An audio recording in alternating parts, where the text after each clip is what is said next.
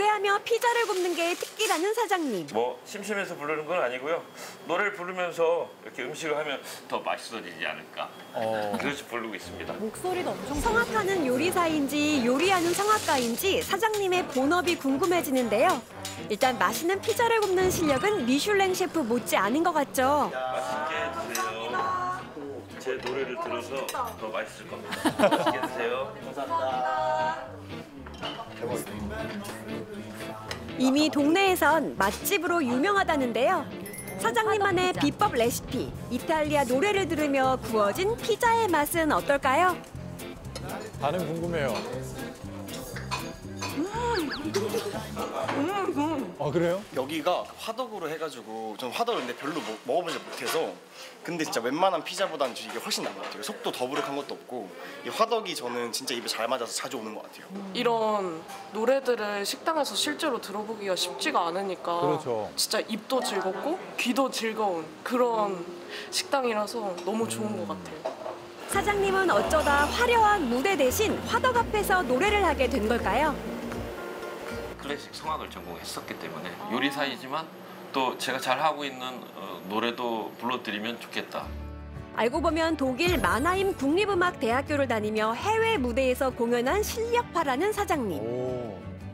유럽에서 7년간 공부를 했는데 그 당시 이제 저희 아내가 거기서 둘째도 낳고 또 셋째까지 임신한 상태였었는데 공부만 하는 그 남편의 뒷바라지를 그 외국에서 하다 보니까 좀 그런 것들이 좀 힘들었었나 봐요. 어, 그래서 아내가 한국으로 가자는 걸 좀 권유했고 또 가만히 생각을 해보니까 한국에 가서도 어, 충분히 제가 할 수 있는 일이 있을 것 같다 해서 한국에 오게 됐죠.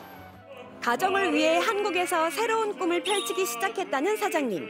피자집을 운영하며 이곳에 하나밖에 없는 자신만의 특별한 무대를 만들었다는데요. 아 멋있네요.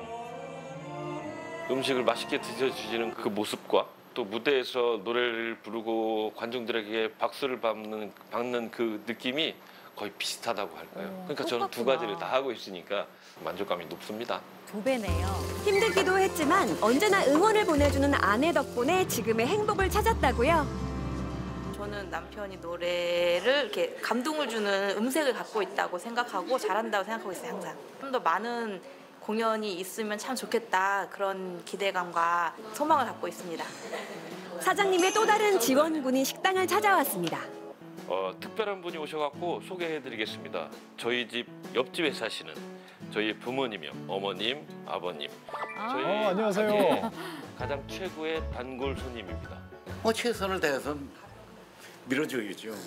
예술가들이 뭐 밥 먹고 살아요. 처음에는 저 저기 했는데 지금은 가게 하는 거 옆에서 지켜보니까 너무 좋고